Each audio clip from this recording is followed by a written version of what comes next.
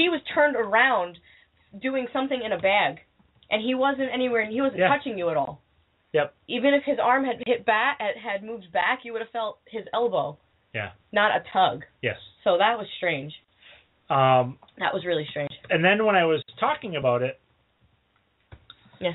Joe Chin, when I was talking to Joe, he mentioned, and this is, uh, please, with, with a grain of salt here, Joe was in the men's room doing his business, and something touched him from behind. yeah. And he's like, why is somebody touching me while I'm standing here? Yes. And he turned around and there was no one there. Right? so, I mean, things were trying to get our attention. You know, nothing Yes. happened to me in the hotel, but I just think I'm closed off, and I don't really. But Yes. I mean, because even to people around me, things were happening, and uh little things here and there, just you know, little unexplainable, yeah. strange little occurrences that were happening to people Yeah. During the day, and then of course the ghost hunts. I mean, I think almost every single person had some kind of experience on the ghost hunts. Yeah. It was one of the more active events I think I've ever attended. Yeah. Um, oh, and, yeah. you know, and it was we had four locations. We had the library at the Hawthorne. Mhm. We had Witch Teas, Which was awesome. which was amazing. We had their basement, which Yeah. we got incredible activity. Yeah. Uh, we were in, in that basement. There was in one section of it they were using a Ouija board. Yeah. And in the other section they were using EchoVox. Right. and both areas were super active. Probably by far the most active location there. Witch Teas is right on Essex Street, so if you're in Salem, um, and you're right in the uh, downtown walking vendor area, stop into Witch Teas. Say hi to Joan there, the owner. She loves telling stories. She has so many Oh, stories yeah. about that place. Talk to her. Say, hey, I heard uh, people from Salem, SalemCon were here. Mention SalemCon. You know, she's she's awesome. She's very open to it. But that's Witch Teas in downtown Yeah. Salem. And um And then we we worked with uh, Tim McGuire over at Remember Salem and uh, the Wynott Why Not Swan. Swan Shop. Yep. Activity in those two locations too. Somebody shared a video with me today of uh, some some things that happened to them in Wynott's Wand Shop Right. where they captured EVPs while Dustin was was talking. Really? Yes, they Was cap- it, were they doing an investigation or were they just chatting? they were using the dowsing rods. Dustin was using the dowsing rods, so he was doing a, a small investigation with them.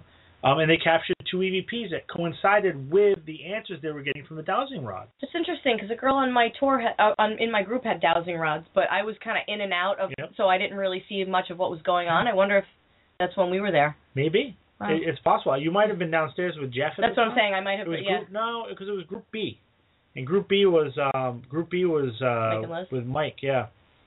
So Group A was started off at what do you call it? So there was. Group Oh, I group D. I we started off in the library. That's right. Uh, No, I had Group D.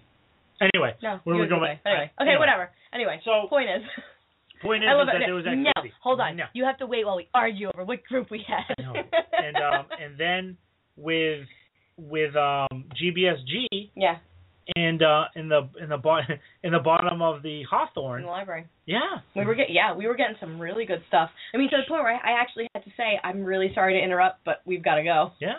You know? And that there seemed to be a theme is there was times where people wanted to linger and stay and um and it was tough because not being able to not being able to take everybody and and and you know stay at a whole location or Yeah. or give you as much time as you want kind of cut into things but the fact that we were getting enough activity that people wanted to stay yeah. that was that was awesome Yeah. Well, then, because it's a double-edged sword, because then you can say, all right, well, we'll only have four locations, and you have to stay at your location. But what if one of them is quiet that night?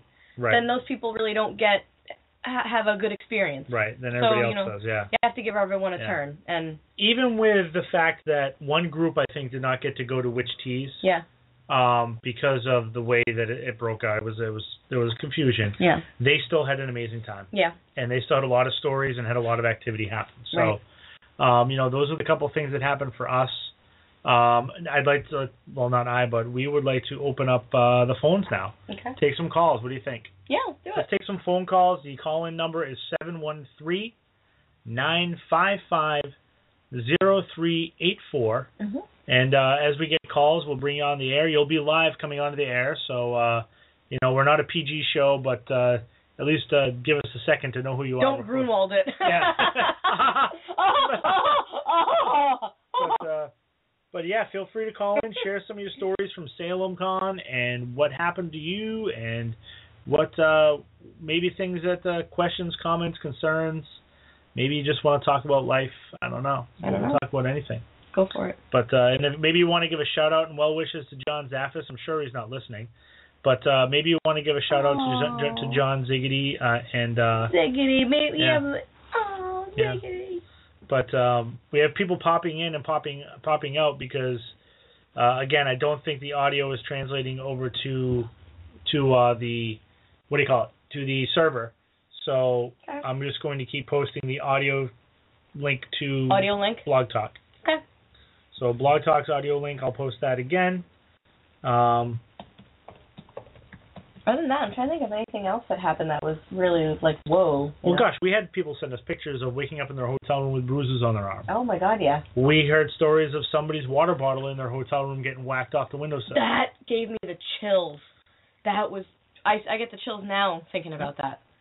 So um, we have a, we have someone calling into the show. okay. You are live on Paranormal Hangover. Who's this? Hello. Christine. I was wondering if you knew it was me. Hi, we got you. How are you? Boy, Mark, you're good. Yeah, I'm doing great. How about you? We're doing fantastic. We're recovered. Recovered, yeah. Yes, that's yeah. Today I feel recovered as well. I have like all these echoes going on. So, you, uh, hit Um, mute hit the, on the uh, on the audio on the on the laptop. Hit mute for wherever it is it's coming from. yeah, I'm gonna do that right now. right now. There you go. All right, are you there? We are here. How's that?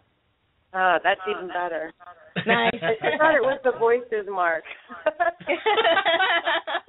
that happens with us. But, it, but anyway, I had a great story. Um, after the VIP party on Friday night, Dave DeLeese, Janet Kelly, myself, we took off for the cemetery, you know, in Okay. the town square. And Yep. um, we we had just gotten in, and Janet and I started taking some digital pictures. My camera just dies. I mean, it's broken. The shutter lens won't even close, and Wow. hers hers was broken as well. So we were standing by, you know, the only crypt that's in there above ground Yep. okay and all of a sudden it felt like somebody like stabbed me in the left side of my back and it went oh. all the way up to my shoulder blades the pain i mean i was Ooh. literally on my knees and Ooh. janet helped me up yeah this really happened janet helped me up and and i went on the outside of the cemetery and i sat there for a few minutes so dave was in the back and janet was you know doing her EVPs and the next thing i know i see this like fifteen pound white rabbit run by me in the cemetery. It's like coming right at me. Right. Wow. The side, yeah, towards the side gate. And the strange thing about this rabbit, it was it had those elongated ears. So Wow. here I am. I didn't have a camera, so I, I got up and I, I went to go find where the rabbit went. And I'm looking everywhere, and there was no rabbit. So a couple minutes later, Janet and Dave were done doing whatever, and we're standing there, like, um, do you know where Bridget Bishop's uh, little stone is? yes. Yep. I was I was on the outside of the cemetery, and Dave and Janet were just walking towards me when this black cat came out of nowhere and ran in front of us. So, anyways, yeah, it was, it was the coolest thing. And Dave DeLeese actually has pictures of the rabbit and the cat. Oh wow. So he's go- yeah, he's going through them for us, so you know he can post them. So anyway, I, in the last session with uh, uh, John Zaffis and Brian Cano was there. You know, I was telling him the story, and he was telling me the symbolizations for the black cat, which we all know. But I didn't realize that the white rabbit was used by the witches for good spells. You know, it was like a good luck charm Wow. and how Wow. they can yeah and how they can change like first seeing the white rabbit you know john was trying to explain like that was something good for me to see but then it might have changed into the black cat like as a warning to get the hell out of there so i just wanted to share that story because it was the coolest thing ever Oh wow. I just got a lump in my throat, like I was gonna vomit when I when I when I heard that. yeah you know in in in the hotel i really didn't experience anything but outside the hotel was a different story like witches teas that was i was there when one of the women in the tunnel we were with the naked investigator guy and she she was standing up, you know, and her back was towards the back part of the tunnel. and another lady was sitting to the left of me, and we both looked up, and you know, as soon as she went, out, and I literally seen her head go backwards from an invisible, you know, it was like an invisible force pulled her head back, and she screamed and lunged forward. So yeah, after that was, that, I was like, was, that was our friend Jonice. Yes. Yeah, we heard about that. yes. Yeah, but I I did witness it, and it was like wow. And then she got like touched on her leg as well during the Wow. session we were in there. Yeah, so it was pretty cool stuff. I really it was a great time. I it was wonderful. You guys did a phenomenal job. Thank you. Thank, Thank you so much. Yeah, I love love- I love all my friends. You know, you guys are good stuff. we, Yeah, we and um, absolutely, we I wanted to love. say, What? go ahead. go No, ahead, go ahead. talk, Marco. we absolutely love and appreciate how supportive you are, and, and Janet is also of, of the things that we do. And you know, we just all we want is that when you you're at some of our events that you have a good time. That's Yeah. the only thing we want. Yeah. And I'm glad that Yeah. it sounds like that happened for you. Exactly. That's what I'm there for. I'm there to learn, first of all. But I, I love to go to these events because I support my friends. I'm not there selling you anything. I'm not, you know, it's just because of that. It's because of the people that are involved. People don't realize how many great people are in this field. Because Right. everybody I've come across in the past four years, I mean, they're just lovely people. Yeah. Right. They really and are. isn't it isn't it like just mind boggling to know that something like that happens to you in the cemetery and you can go back and ask John Zaffis what he thinks about your experience. Like yeah, because he's right there on that? the site. Yeah, that was like the do coolest thing. I Yeah. know. Right? So I feel very privileged in that perspective. It, you know, Yeah. it was awesome because he's right there because you guys put him there. That's you know the whole point of it. Aw. He was there to answer approachable. questions. Hey, Mark, I think you were in there. You know, when I was telling the story. Yeah, I do I- remember. I do remember you telling that story. I didn't get a. I don't think I got a chance to hear the reaction from John because it was getting pulled in so many different directions. Yeah. But Yeah. Yeah. I know, but when um we were there at the last session, you know how we did like the round table EVP yeah, with all the people, and then Yeah. John asked the question, "How do you see us?" And he Yes. says it twice, and then as soon as he's done, you hear as light, just like that. And I've captured Yeah. that on my EVP as well. Oh. So Oh it's my pretty God. cool. We want ev- yeah. We want you Yeah. we want you to share the EVPs like share them, put them on on the SalemCon Facebook page. Share all that Yeah. stuff. We can make that like our own little mini database of the event. You know, if everyone shares things like that. Yeah, absolutely. Yeah, as Yeah. soon as I get a chance to upload them in the computer, I'll try and get them over to there. You Yeah. know, that's awesome. Or, you know, even- I was just doing it, you know, while I was walking today, listening, you know, and doing my thing. Oh my That's goodness. awesome. Oh, I know I Yeah. get chills. oh man, I, I, I know. We seriously want a do over. We want to go back and uh Yes. and, and go and do it. That's why I put that post up like, oops, somebody moved. Time to go back. Gotta go back. I, I want to do I want to do like a six day jaunt, you know, and just go, and then you don't have to worry about coming back to reality for at least Yeah, those six exactly. days. Oh my gosh. And listen, I believe me, we don't take for granted the fact that Salem is like a 15, well, not 15, but a half hour train ride from us. We go as often as we can. And, you know, there are times where we go and and you you walk around that cemetery you were in during the daytime and you just feel the energy I know, that's I was- around. Oh yeah, know? I was there Sunday morning doing the same thing, but Yeah. um, Yeah. you know, it that was my first time, believe it or not, in Salem, and I live in Northwest Connecticut.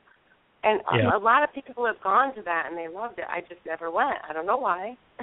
Yeah. But I'm so I'm so happy that I did because it was just a beautiful place too, full of history, really rich Oh. in It is. history. Uh, and you know, while I have you guys on the phone, I just wanted to say, God bless John's Zaffis. I'm glad that he's okay. And I just wanted to say a shout out to Steve DeShive because Hey. missed him at SalemCon. Damn it, I wanted him there. And we all did. and he's yeah, and he's got the shingles or something going on. I don't know. He's had a lot of health problems. So I just wanted to say, hey, we love you and we missed you. That's what he gets for moving to Florida, damn it. yeah, right? exactly, exactly. He couldn't take the the New England winters anymore like us, you know. awesome. What, Christine, you know, thank, thank thank you for calling in, Christine. We appreciate it and uh, we'll talk to you soon. yeah, get on to someone else. Have a good night, guys. Well, thank, thank you. you. love Thank you. you. Bye bye. Love you. Bye. Bye bye. That was our friend Christine Stickney. She That's was- an awesome story, Oh by the way, God. with the rabbit and then the cat. That's just like, that's the kind of thing that you hear and you're like, yeah, okay, and then you experience it, you know. That's just really cool. It's um, it's it's interesting because she experienced that not knowing the um Implication, like what it what it what it means. right Yeah. exactly not knowing what's behind it and then you sit down and like you said you have the opportunity to talk to John Zaffis about this Yeah.